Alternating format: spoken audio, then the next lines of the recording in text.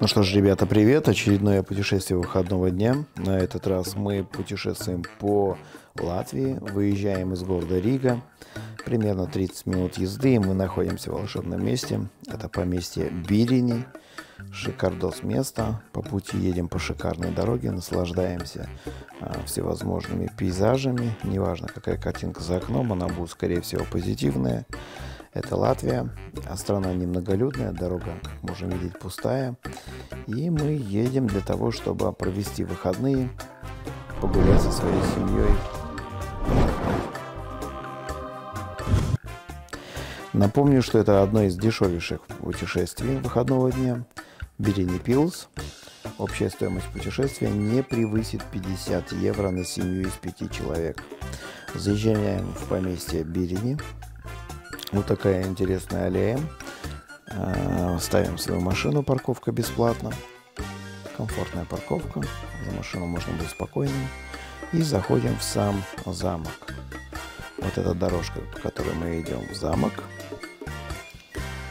Не май месяц, но это рекомендованное место путешествия. Это осень. Осенью здесь очень красиво. Э, вход нам обходится на семью в 12 евро. Заходим в замок.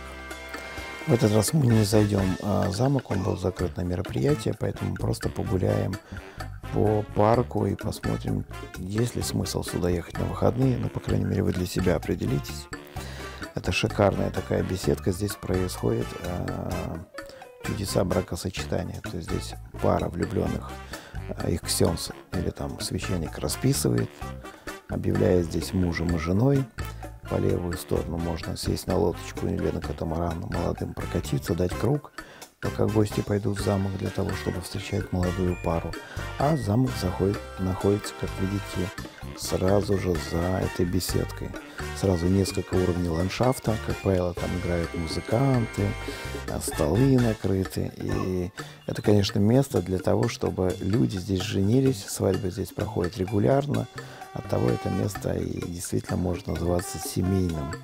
Потом эти же пары приезжают сюда со своими детьми, поэтому здесь всегда позитивно и всегда релаксово. С погодой повезло, у нас осень, падают листья, листьев много, и это повод для того, чтобы повеселиться, побеситься. Ну, латвийцы вообще любят заниматься вот этой ерундой, делать такие фоточки, селфички, и с детьми просто валяться в этих листьях. Листья сухие, они не грязные, и можно бросаться друг в друга в этих, этими листьями, можно засыпаться с ног до головы, делать все, что угодно, но согласитесь, делать это где-то в поместье за городом – это совершенно другая история, нежели где-нибудь в сквере в городе. Замок мне нравится. Замок, ну, он красив, даже так. А если будут просьбы в комментариях, то в следующий раз мы заедем внутрь замка, покажем вам номера, чтобы остаться на ночь. Порядка 50 евро они стоят. Ресторан а, порядка 12 евро на человека. Он обходится, как правило. Ну и внутреннюю экскурсию. Но это не в этот раз. В этот раз нам надо наслаждаться последними минутками осени. У нас осень, впереди зима, и нам надо получить осенние эмоции сполна. Поэтому мы приехали сюда для того, чтобы пошвыряться по ли листьями, походить по парку и вообще получить каких-то недорогих, но очень позитивных эмоций выходного дня. Обошли мы сбоку а, поместье. Заходим, так сказать, с черного хода, поэтому картинки могут быть, конечно, не лучшего качества, но тем не менее. Водонапорная башня – это открытие этого сезона. Раньше она была всегда закрыта, но сейчас в ней произошел ремонт. И сейчас есть еще одна достопримечательность в Бидине Пилс. Раньше ее не было. Напомню, она с этого года только появилась. И здесь принцип работы башни. Кролики – ну, конечно, детям нравятся кролики, а что же еще? Здесь живут куча кроликов, которых можно покормить детям. Смотрите, как интересно оформлены клетки. Здесь есть конюшня. В конюшне есть парочку пони и довольно достойных рысачков, на которых можно покататься и детям, и взрослым. И конюшня такая, ну, классическая деревенская конюшня, которая в усадьбе, которая всегда была действующей и действующая поныне. Запах сена, запах лошади, все чистенько, все комфортненько. Дети просто от кроликов не отходили. Башня как я говорил, это новая достопримечательность этого сезона, показывает принцип работы башни, каким образом осуществлялось водоснабжение в замке. Здесь как будто бы полностью наполненная а, башня водой, и вам предлагают побыть вот в этой воде. Ну, это, конечно, анимация, но, тем не менее, вот башня вот так и выглядела. Это просто резервуар для воды, и вы находитесь внутри. Ну, что здесь еще могло быть? Просто сейчас башня используется немножко по, на, по неназначению. Раньше это просто водяной резервуар, а сейчас еще обзорная вышка. Поэтому по пути, чтобы ты поднимаясь к вышке, тебе не было скучно, тебя развлекает вот. Здесь есть, конечно же, световая, звуковая анимация, пано, говорящее об э, истории данного места. Ну и тесноте, да не в обиде. Мы залезли в главный резервуар, голландская лестница и выход, собственно говоря, на крышу. Ветровичок стоит для вырабатывания энергии, и отсюда мы можем обозрить наше поместье. Две стелы стоят у входа в замок, сам замок, на нем гнезда аиста. Они улетели сейчас, но с аистами они выглядят, это по весне, и летом очень красиво. Это конюшня, здание конюшни. В целом прикольненько. Наши столбы латвийские, это, ну, как амстердамские, это наши латвийские, просто без него никак. Они есть в любом замке, в любом поместье Латвии. С погодой повезло. Дуб, символ Латвии. Не бывает поместья, где бы не было дуба. Это тогда не Латвия. Причем это наш латвийский дуб, который бывает двух видов, зимний и летний, но это уже другая история.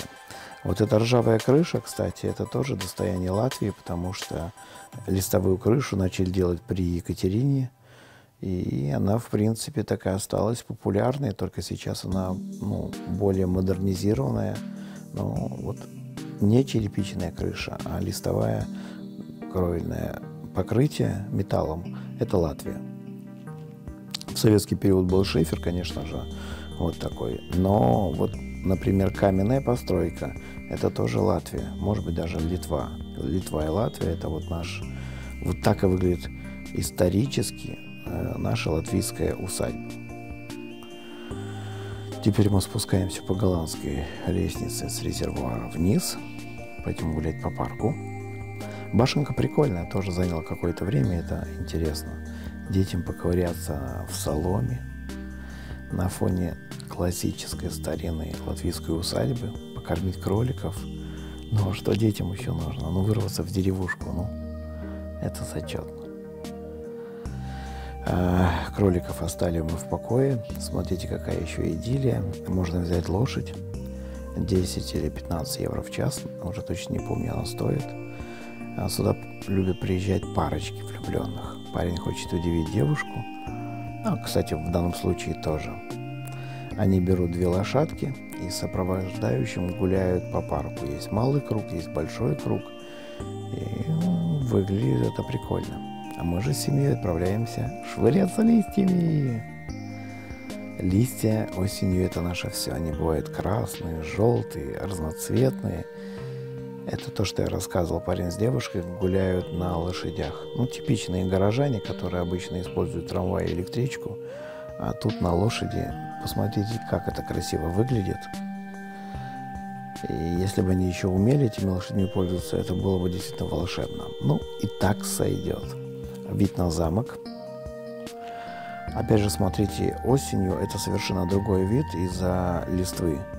То есть вот это вот рыжая, желтая, местами красная, зеленая листва, они выглядят очень прикольно. Ну, для детей это такой же прикол, как выпал первый снег скажем так, по ощущениям. А, сам парк старинный, он не свежепосаженный и пережил и войны, и видел наверняка владельцев этого замка.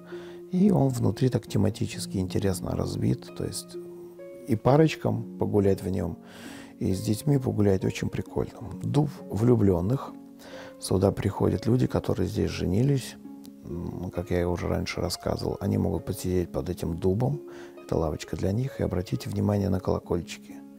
То есть, когда люди женятся, приезжает пара влюбленных и швыряют сюда ленточку, где на одном конце ее колокольчик, на другом его. Количество колокольчиков, если присмотреться, ну, практически равно количеству листьев – или желудей на этом дубе.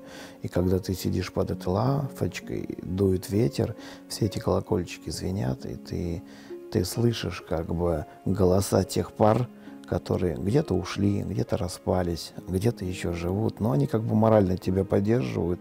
Это такой дуб целомудрия.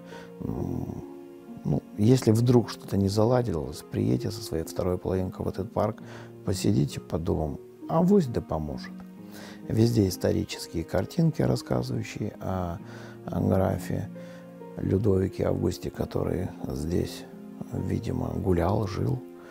Вот такой старинный собор, дуб целомудрия. Красиво выглядит, а? Но действительно, парк маленький, но он очень красивый. Это примерно на парк у вас идет полтора-два часа, если не холодно ну, позитивен, релаксовый такой. Очень уникальная фишка. В конце парка есть мельница. Мы к ней, собственно говоря, направляемся. И там всегда мега вкусная латвийская кухня. Дети беситься здесь, вот как, как то, что доктор прописал. Выходим к мельнице. Есть качели. Мимо них тоже редко кто проходит. Прям такие качели-качели, чтобы адреналинчика немножко качнуть Э, перед тем, как вот в этой мельнице покушать. Вид. То есть, смотрите, ну, классическая латышская усадьба, немноголюдная. Ну, ну, то, что доктор прописал, это действительно кайфово. Вот такая терраса, которая прямо в искусственном водохранилище. Это старая мельница.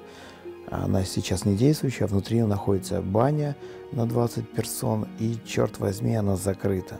Вот все это соцветие в цветах, они уже осенью подвяли, но жалко, что она была закрыта, но на предыдущих видео видно, как мы, например, в нее заходим, берем национальную кухню в горшочках стоимостью до 4 евро блюдо, и ты вот тут сидишь, кушаешь и наслаждаешься латвийской природой. В этот раз, ну, тупо почему-то не повезло. Но это прикольно, и поэтому все, что нам остается, наслаждаться листвой.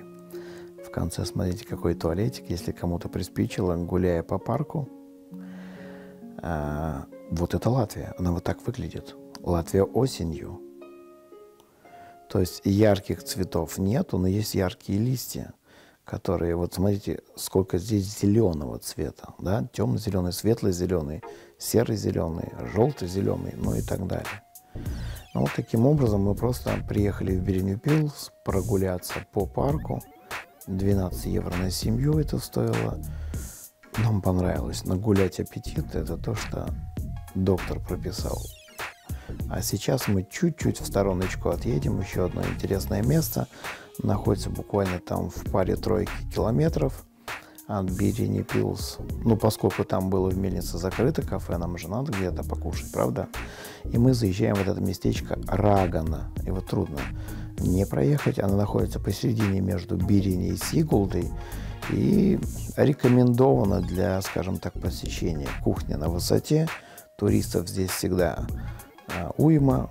Э, изумительная кухня, наша латвийская, с такая а приколами местными. Единственная очередь. Вот зараза сюда как приедет 3-4 автобуса с туристами, э, вот очередь может здесь как бы попортить немножко вам нервы. Средний чек 34 евро. Ну, в 50 евро входят вот эти 34 евро на вот такой шикарный стол. И этим, собственно говоря, мы замыкаем наше э, путешествие выходного дня 50 а, евро для того, чтобы разрядиться, для того, чтобы почувствовать свою семью в новом качестве. Новый маршрут Берини. Надеюсь, вам понравилось, как идея выходного дня. Так что поднимайтесь с дивана и вперед Латвия вас ждет мега позитивная, всегда гостеприимная. Бери не пилс. На сегодня все. Всем